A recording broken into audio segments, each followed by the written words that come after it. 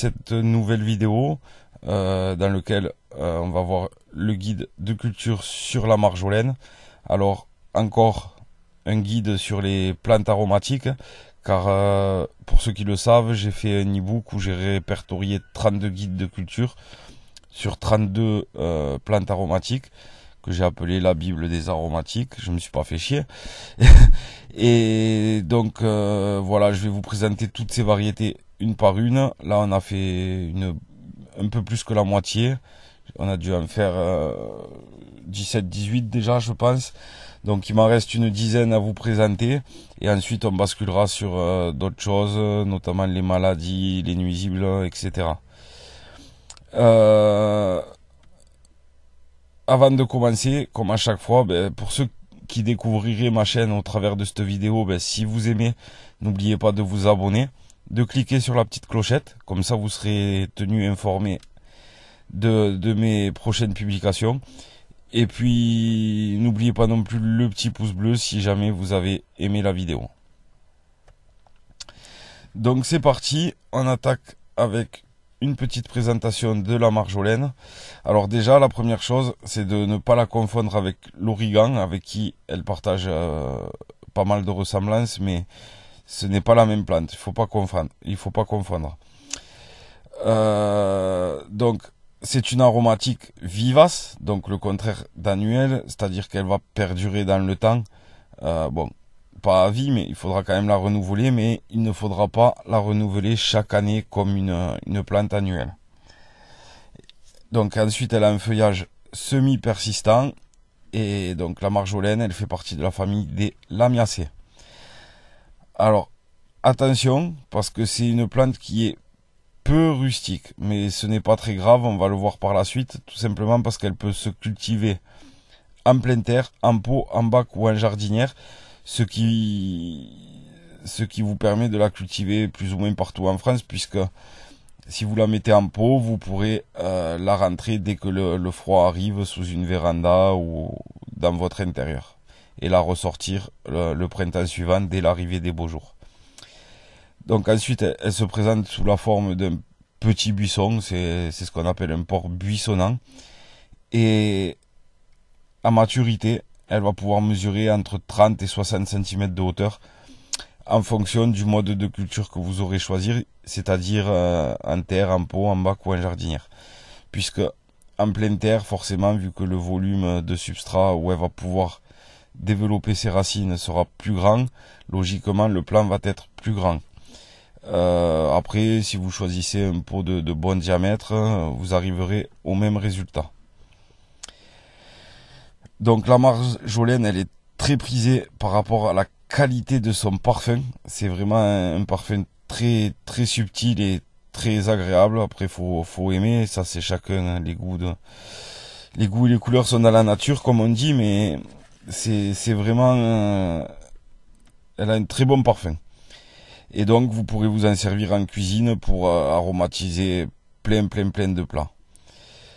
Ensuite, la marjolaine, elle n'est pas utilisée qu'en cuisine, elle est aussi utilisée en phytothérapie et en aromathérapie parce qu'elle a des propriétés antibactériennes, fongicides, sédatives et anti-inflammatoires. Donc vous pourrez également la consommer en infusion. D'ailleurs, euh, je l'ai dit dans ma vidéo précédente, j'ai eu cette idée. Euh, est-ce que vous seriez intéressé euh, par par le fait que de temps en temps, je vous publie une recette. J'ai pensé ça sur l'ISOP, la dernière vidéo que j'ai fait, tout simplement parce que la saison dernière, j'ai fait de la liqueur d'ISOP, qui est très très bonne d'ailleurs, à consommer avec modération bien sûr. Et je me suis dit, tiens, pourquoi pas de temps en temps proposer une vidéo sur comment faire, je sais pas, une infusion de marjolaine, de la liqueur d'ISOP, des recettes à base des produits que, que vous allez cultiver, que je présente dans mes, mes vidéos. Donc, dites-moi ça dans les commentaires, si, ça, si vous aimeriez voir ça euh, de temps en temps. Euh, je pourrais essayer d'en faire une par semaine, par exemple. Euh, donc, n'hésitez pas, n'hésitez pas à, me le dire dans les commentaires. ce serait en plus des, guides de culture, bien sûr, je, ne réduirai pas la, cadence des vidéos sur les guides. Au niveau du sol et de l'exposition, la marjolaine, elle va aimer les sols légers et humifères. Et comme la plupart des, plantes aromatiques, je le répète à chaque fois, un sol bien drainé parce qu'elle redoute l'humidité stagnante euh, qui pourrait lui être fatale tout simplement.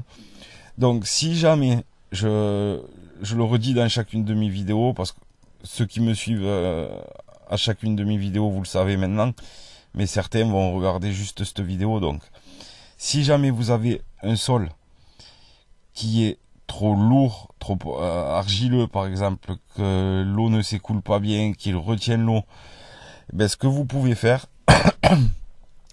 c'est comme si vous alliez euh, faire un substrat pour un pot. Vous creusez un trou de plantation de 30 à 40 cm en tous sens, c'est-à-dire euh, côté et profondeur.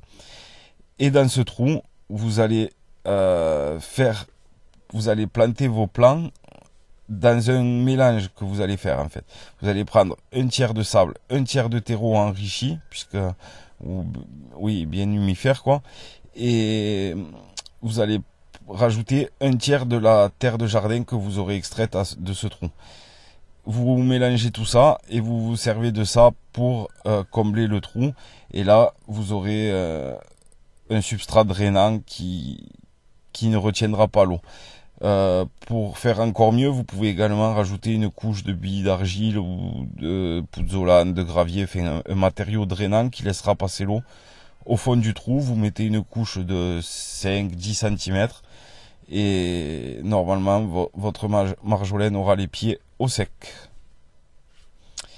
Pour l'exposition, ben, on va la placer en situation chaude et ensoleillée. On passe au semis et à la plantation.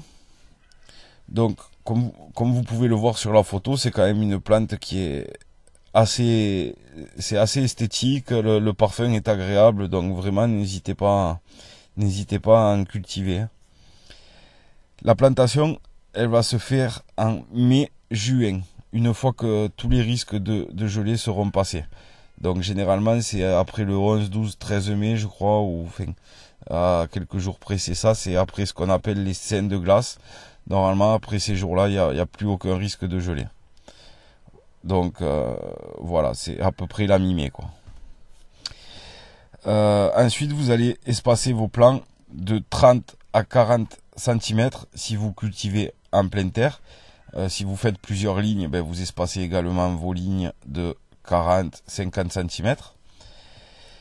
Dans le cas euh, d'une culture en pot, ben, on l'a déjà plus ou moins vu, vous allez choisir un pot qui est percé de trous de drainage en son fond, bien évidemment, ça c'est le primordial, et vous allez le remplir avec un mélange dont je vous parlais auparavant, un tiers terre de, jardin, un tiers de sable et un tiers de compost, ou de terreau euh, enrichi en compost.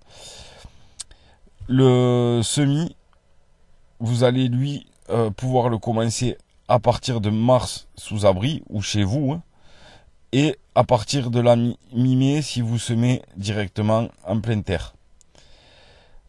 Euh, donc bah, pour le semis, je vais pas vous réexpliquer. Je ferai une vidéo générale sur comment faire des semis facilement avec des bouteilles en plastique.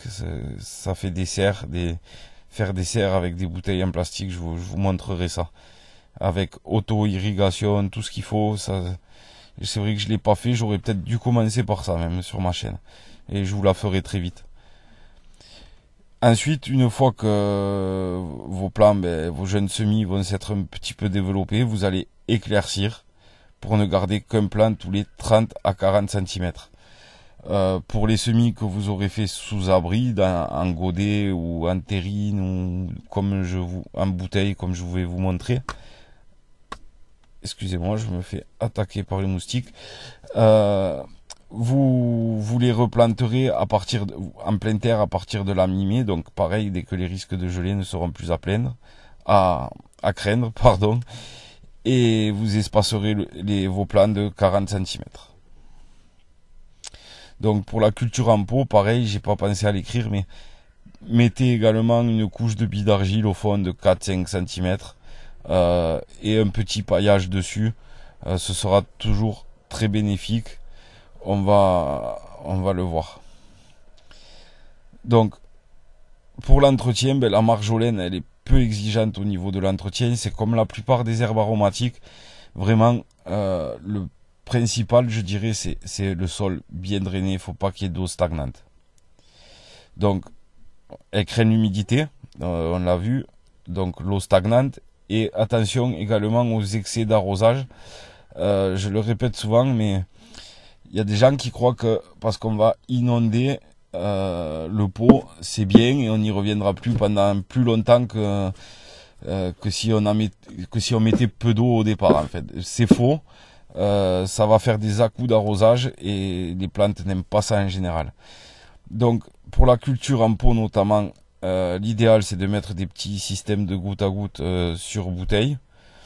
Euh, où, j'ai il y a un modèle disponible sur mon site si ça vous intéresse. sinon, il faudrait, l'idéal, c'est d'arroser euh, légèrement tous les jours à la limite, ou tous les deux jours, euh, le temps que le, terreau, le substrat sèche à la surface, euh, plutôt que d'arroser inondé et revenir 5-6 jours après. Donc voilà. La marjolaine, elle est peu exigeante en eau, donc elle va pas demander beaucoup d'arrosage, mais euh, les, les quelques semaines qui vont suivre la plantation, il va pas falloir euh, laisser se dessécher le terreau le temps que ça la, de la reprise en fait. En pot, ben, vous allez être vigilant pareil hein, euh, les quelques jours qui suivront la plantation. Ce qu'il faut essayer de faire, c'est laisser sécher la terre en surface entre deux arrosages. Donc, euh, vous voyez, vous, de toute façon, une plante, faut surveiller tous les jours. Euh, un jour c'est humide, l'autre jour, vous voyez que c'est sec, c'est le moment d'arroser. Procéder à des binages réguliers, donc ça c'est pour la culture en pleine terre, de manière à aérer le sol et à supprimer les mauvaises herbes. Pour ce qui est de la taille, parce que la marjolaine va, va devoir se tailler pour être plus, plus touffue, euh, plus esthétique.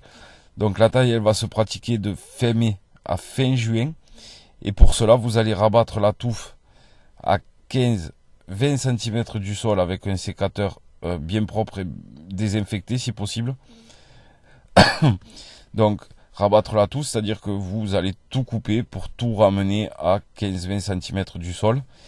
Et ne vous inquiétez pas, ça va au contraire favoriser la repousse, ça va faire comment il y a des nouveaux rameaux qui vont se des ramifications qui vont se développer et votre plante sera plus touffu et donc forcément vous aurez plus de feuilles à récolter euh, par la suite. Donc fin de fin à fin juin avant les grosses chaleurs en fait. La multiplication. Euh, j'ai fait une petite erreur. vous voyez, je vous ai dit de ne pas confondre la marjolaine et l'origan. Et moi, euh, j'ai confondu, donc c'est juste une petite erreur de mots, mais le reste c'est ça. Donc la multiplication de la marjolaine, elle peut se faire soit par semis, soit par division de touffe. Donc pour le semis, une fois que vous aurez acheté une première fois vos graines ou vos plants, vous allez ensuite pouvoir récolter vos propres graines. Pour cela, vous choisissez euh, le plant qui est le plus joli dans votre jardin et vous allez le laisser monter en fleurs et donc ensuite en graines. Vous récoltez les tiges qui sont porteuses de graines, puis vous les faites sécher au-dessus d'un journal ou d'un drap, enfin d'un linge blanc si possible pour bien voir les graines. Et vous mettez tout ça dans un endroit sec et aéré. Ensuite, vous allez, une fois que c'est bien sec, vous allez battre le tout euh, pour finir de faire tomber les graines. Il euh, y en a qui vont tomber d'elles-mêmes. Euh, sachez qu'il va en rester encore dans les dans les fleurs. Donc vous les battez, elles vont finir de tomber. Et ensuite vous les stockez dans un bocal hermétique, à l'abri de l'humidité, de la lumière, etc. de cette façon, vous allez pouvoir les conserver jusqu'à 5 ans. Ensuite, la division, elle, va se faire en mai, une fois que les risques de gelée ne sont plus à craindre. Euh, la division, vous allez déterrer un plan en faisant, en prenant large autour de la base pour euh, essayer d'abîmer le moins de racines possible. Euh, ensuite, une fois que vous avez extrait donc la motte avec votre plan avec la motte, vous allez diviser cette motte en plusieurs éclats avec une serfouette, un couteau, une pelle, peu importe, un truc assez propre quand même. Et donc avec un plan, vous pouvez faire quatre éclats, n'en faites pas 10. Hein. Euh, faites quatre éclats. Et par contre, ces éclats, euh, veillez à les replanter le plus rapidement possible, vraiment, pour euh, qu'il y ait le plus de mettre le plus de chance de son côté. Faut pas les laisser sécher parce que donc même ce que je vous recommande, c'est déjà de réfléchir à l'endroit où vous allez les replanter, préparer vos trois ou quatre trous de plantation et vous déterrez, vous divisez et vous replantez immédiatement, toujours en respectant les, les distances de 30 à 40 cm. On passe à la récolte et à la conservation. Donc la récolte de la marjolaine, elle peut commencer durant l'été, euh, une fois que vos plants se seront bien ramifiés grâce à la taille qu'on a vue précédemment, euh, qu'on aura fait en mai-juin. Et ensuite, vous allez pouvoir récolter jusqu'en octobre au fur et à mesure de vos besoins. Donc, pour la conservation de la marjolaine, euh, vous pouvez la faire sécher en essayant justement de la faire sécher le plus rapidement possible, contrairement à d'autres plantes, à 25-30 degrés. Donc, soit euh, vous la laissez en plein soleil, soit vous pouvez euh, la mettre au four sans déclencher le, thermostat. Vous savez, vous juste moi mon four, je peux monter un peu la chaleur, à peine un peu, sans que la lumière rouge s'allume. Là, on doit être aux alentours de 30 degrés. Et, en fait, avec le brassage, j'utilise juste le brassage de l'air et ça va vous sécher vos feuilles euh, correctement. et vous laissez la porte entrouverte, bien évidemment. Et ensuite, une fois que vous aurez ces herbes séchées, ben, euh, vous allez les conserver dans des bocaux hermétiques également. Euh, je je veux pas dire de bêtises, dites-moi le dans les commentaires, mais je pense que j'en ai pas parlé, mais je pense qu'elle peut, je l'ai jamais fait, euh, mais je pense qu'elle peut également se congeler moi, je, je les congèle pas, les, les plantes aromatiques. Soit je les fais sécher, soit je les consomme immédiatement. Donc, soit j'en fais des liqueurs. donc, euh, ensuite, les bonnes associations du potager. Bon, ben, la marjolaine, elle a des effets bénéfiques sur beaucoup de plantes potagères. Mais attention à ne pas la laisser déborder euh, de ne pas laisser déborder les plantes voisines sur la marjolaine qui ne supportent pas la concurrence. Donc euh, ne, collez pas d'autres espèces trop trop près. Et pour ceux qui jardinent avec la lune, eh ben on va semer en lune ascendante et en jour feuille. Donc variété, ben, c'est marjolaine annuelle, que je, il n'y en a pas 50. Et pour ceux que ça intéresse, petite nouveauté, euh, vous pouvez retrouver un large choix de, graines bio disponibles sur mon site. Que c'est je prends chez des producteurs. Euh, j'ai trouvé plein de petits producteurs. Euh, je, bon, moi, je leur prends avec des gros grammages et je les reconditionne. Et donc, je vous les présente dans des petites pochettes avec un grammage normal, on va dire, pour pas qu'il y ait de gaspillage. Donc, n'hésitez pas à aller voir ça pour ceux que ça intéresse. Donc, toutes les graines sont bio. Pour l'instant, vous trouverez que les aromatiques sur mon site. Euh, on est le 19 septembre. Je pense que d'ici fin octobre, j'aurai mis tout ce qu'on me propose parce que le, catalogue est, assez grand. Et donc vous retrouverez tomates, euh, aubergines, tout ce qu'il faut euh, pour la saison prochaine. Donc, ceci étant dit, ben, j'espère que cette vidéo vous aura plu. Si c'est le cas, n'hésitez pas à vous abonner N'oubliez pas de mettre un petit pouce bleu pour ceux qui sont sur des réseaux sociaux, dans des groupes de jardinage, sur Facebook, Twitter ou autre. Ben, n'hésitez pas non plus à partager ma vidéo, je vous en remercie. Et pour finir, ben, ce guide, vous pouvez le retrouver à télécharger individuellement sur mon site www.labibledujardinage.com ou euh, dans l'ebook La Bible des aromatiques que vous pouvez également télécharger sur mon site. Petite nouveauté, vous avez été nombreux à me le demander. Euh, j'ai créé un petit système euh, d'abonnement qui vous donnera un accès en fait une fois que vous aurez pris l'abonnement gratuit et illimité à tous les e-books et tous les, guides en PDF de mon site. Et tant que vous êtes abonné, vous aurez également une remise de 10% sur toutes les graines et sur tous les produits qui vont bientôt arriver sur mon site, produits maison et jardin. Voilà, merci d'avoir regardé cette vidéo jusqu'au bout et donc je vous dis à très vite pour un prochain guide. A plus